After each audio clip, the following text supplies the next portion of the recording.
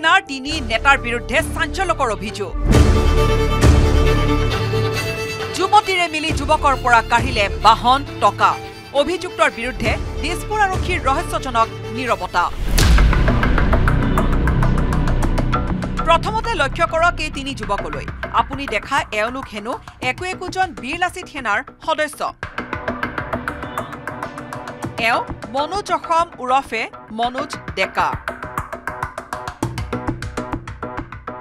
এওঁ আকৌ জয়ন্ত অসম ওৰফে জয়ন্ত শৰ্মা। আৰু এইজন তপন অসম ওৰফে তপন শৰ্মা। এই তিনি নেতাৰ কৰ্মকাণ্ড শুনিলে হতবাক হ'ব আপুনি। দিন দুপৰতে ৰাজপথত ডকাইতিত নামে তথাকথিত এইকেইটা বীৰ লাচিত সেনাৰ সদস্যই। তিনি নেতাৰ বিৰুদ্ধে কেমেৰাৰ সন্মুখত ভূপেন গগৈ নামৰ এইজন যুৱকে আনিলে ভয়ংকৰ অভিযোগ। এগৰাকী যুৱতীৰে মিলি এই তিনি যুৱকে হানি ট্ৰাপিঙৰ চেষ্টা চলালে যুৱকজনক। আমাৰ মানে বিল আছিল সংগঠন নামৰ এটা সংগঠনে মোক মানে এটা কেছৰ আলম লৈ পিনে কেছৰ আলম লৈ পিনে মানে তেখেতে মোৰ ভয় ভাবুকি দি আছে। তেখেতলোকে মানে ভয় ভাবুকি ধমকি দি মোক আপোনাৰ প্ৰায় সাতাইছ ছাব্বিছ তিনি তাৰিখে মোলৈ ফোন কৰিছিলে। ফোন কৰি পিনে মোৰ পৰা সাতাইছ তিনি চৌবিছ তাৰিখে তেখেতলোকে মোৰ পৰা প্ৰায় দিছপুৰ থানাৰ আগৰ পৰা প্ৰায় পঁচিছ হাজাৰ টকা এটা মোৰ পৰা লৈ যায়। লগত মহিলাজনী মিলি আছে মানে। বিল আছে লগত মিলি আছে।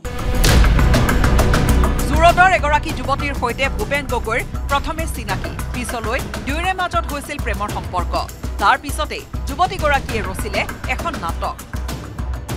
যুৱতীগৰাকীয়ে আৰম্ভ কৰিছিল ব্লেকমেইলিং যুৱতীগৰাকীৰ কবলৰ পৰা বাচিবলৈ ভূপেন গগৈয়ে গুচি গৈছিল ডিব্ৰুগড়ৰ ঘৰলৈ। তেতিয়াই যুৱতীগৰাকীক কাষ চাপিছিল। নিজকে বীৰ লাচিত সেনাৰ নেতা বুলি দাবী কৰা মনোজ জয়ন্ত তপনৰ।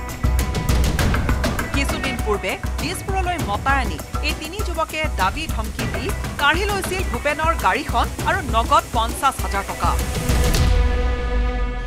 দুদিনৰ আগত আপোনাৰ তেখেতলোকে মোৰ পৰা ধমকি সহকাৰে দি পিনে তেখেতলোকে মোৰ পৰা গাড়ীখন জোৰ জবৰদস্তি চেল ডিটত চহী কৰাই ই ষ্টাম্পত চহী কৰাই মোৰ পৰা পেন কাৰ্ড আধাৰ কাৰ্ড আৰু আপোনাৰ পইচা মোৰ পৰা লৈ লুটি লৈ গুচি যায় সেই গেংটোৱে এতিয়া পুনৰ ভূপেনৰ পৰা দাবী কৰিছে সাত লাখ টকা। বিচৰা ধন নিদিলে প্ৰাণে মৰাৰো ভাবুকি দিছে। প্ৰাণৰ সংশয়ত ঠিকনা সলনি কৰি বন্ধুৰ ঘৰ অথবা হোটেলত আশ্ৰয় লৈছে এইজন ভূপেন গগৈয়ে। উপায়ন্তৰ হৈ ভূপেন গগৈ ন্যায়ৰ বাবে কাষ চাপিছে দিছপুৰ আৰক্ষী আৰু সংবাদ মাধ্যমৰ। চিনি পাওঁ। অলপ কিবা এটা সম্পৰ্ক আছিলে মোৰ লগত।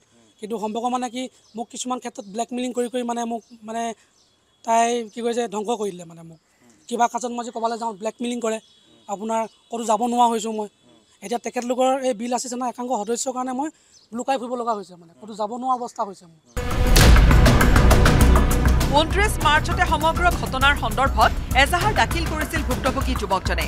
কিন্তু এমাহে গোচৰ পঞ্জীয়ন নকৰিলে দিছপুৰ আৰক্ষীয়ে।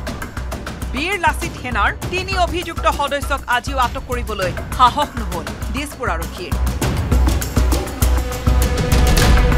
Birenchi Kumar Deka report News Eighteen Assam North East.